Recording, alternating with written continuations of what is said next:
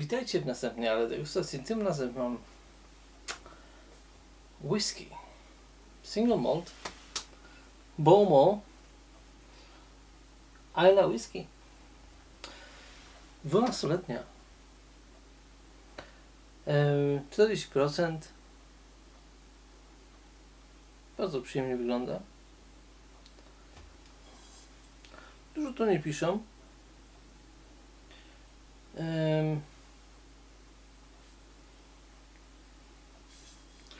Także nie ma się tu rozwodzić, ale ładna butelka, ładny kolor, natomiast e, niestety tutaj na tej wersji nie piszą, to jest angielska, ale na przykład jakbyście mieli europejskie, no to już y, tam musi być podane, na przykład w niemieckiej wersji musi być podane, że jest używany kolorant, czyli karmel. Ale mimo wszystko bardzo ładnie wygląda, bardzo mi się podoba. Aromat?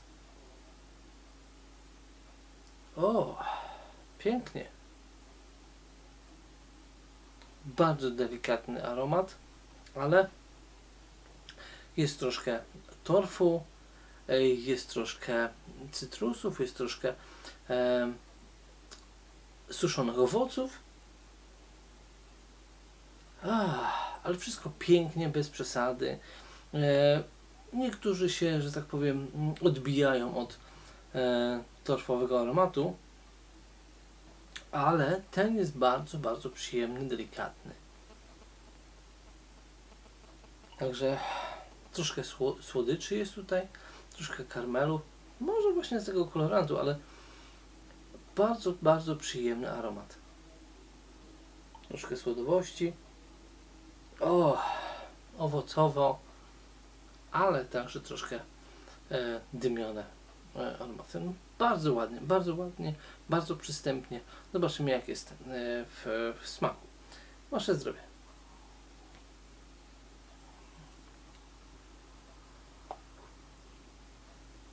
Mm.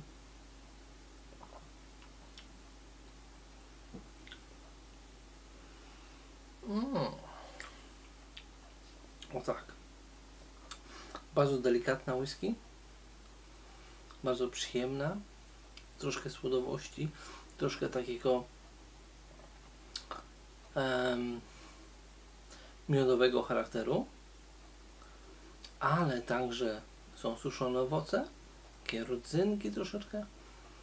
E, a później, szczególnie już jak te em, smaki wybrzmieją, tyłu e, króluje torf. Jest delikatny, ale rzeczywiście pięknie tutaj współgra, pięknie daje taką e, otoczkę dymio, e, e, tak, dymu, ale torf jest tutaj bardzo fajnie widoczny, ale równocześnie jest bardzo delikatny. Także ta whisky wydaje mi się, że będzie bardzo, bardzo przyjemna dla kogoś, kto mm, jeszcze nie testował, że tak powiem, e, whisky from Isla, bardzo torfowych.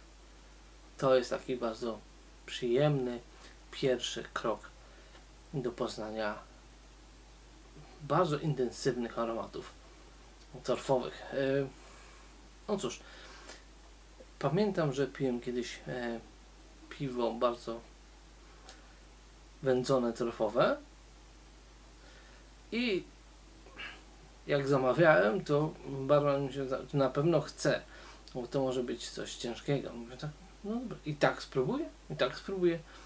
E, wziąłem, spróbowałem, mi się spodobało, chociaż e, aromaty były ho, odpychające, że tak powiem.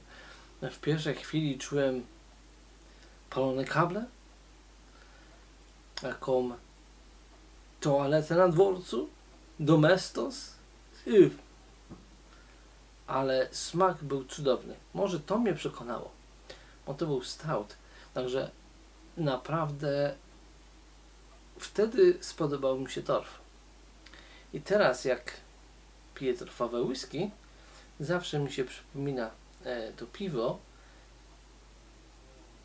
I tutaj muszę powiedzieć, że jest naprawdę coś wspaniałego. Jest delikatna nutka na początku, a później, e, jak mamy taki aftertaste, jest naprawdę dużo e, wędzoności, dużo torfu. Jest bardzo przyjemnie, ale delikatnie. I to mi się podoba. To jest bardzo delikatna whisky. E, no cóż, mi się wydaje, że jest bardzo przyjemna, e, dostępna, e, nie jest bardzo droga, także warto spróbować. I naprawdę mi się podoba. E, wiem, że niektórzy będą, że tak powiem, no nie lubią torfów i niestety nie pójdą tą drogą, ale ta whisky jest przyjemna. Jest torfowa, ale przyjemna. Także jeżeli chcecie spróbować, to myślę, że to będzie pierwszy krok w dobrym kierunku. Mam nadzieję, że ta recenzja Wam się podobała. Tak jak podoba mi się ta whisky, także dajcie łapkę w górę, subskrybujcie. Pamiętajcie o no przycisku notyfikacji, w jest dzwoneczka, który będzie Wam przypominał o każdym filmie na kanale. Przynajmniej mam taką nadzieję. No i głoście nieść, wieść wśród swoich znajomych o tym kanale. E, No to się przydaje. Wasze zdrowie. Sklandziwa.